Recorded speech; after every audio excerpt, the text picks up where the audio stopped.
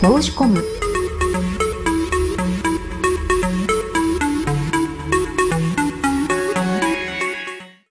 菅野美穂庶民派からお受験セレブママか愛足のために進化か。DOT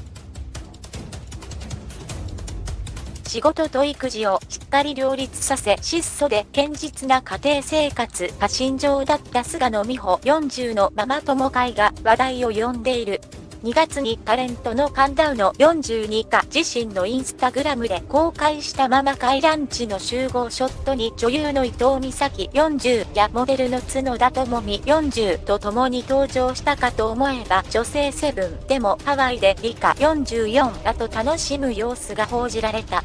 宇野と伊藤はセレブママの頂点に君臨する2人です。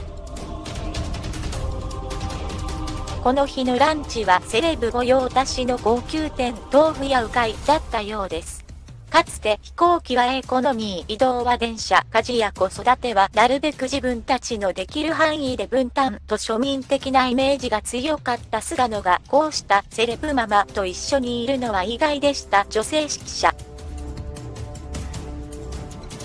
これまで菅野は仲のいいママ友としてトーク番組でめぐみや坂下千里子の名前を挙げていて育児に困った時は一番先に坂下に相談するほど女性指揮者だったという。もちろん坂下とは今でも仲はいいですが息子を幼児教育用事務に入学させたり、さらにセレブから人気の高い地域教室に入会させた頃から付き合うママ友も変わったようですね。現在は英才教育の保育園に通っていますが、こうした環境の中で、宇野や伊藤とも頻繁に会うようになったそうです。前でと。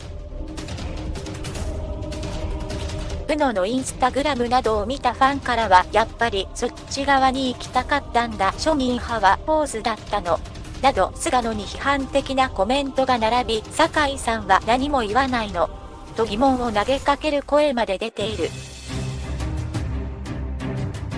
夫の坂井正人44はずっと育児にも協力的で子供の教育にも熱心です。菅野も子供には学ぶ楽しさを覚えてほしいと何でも体験させて育てたいと0歳の頃から様々な教室を見学していました。